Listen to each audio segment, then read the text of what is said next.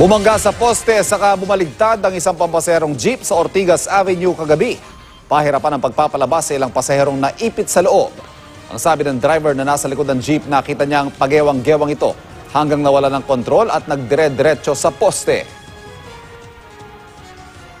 Nawalan siguro ng preno sir kasi ano eh, diretso talaga eh. Hindi na siya naka ano eh, walang minor eh.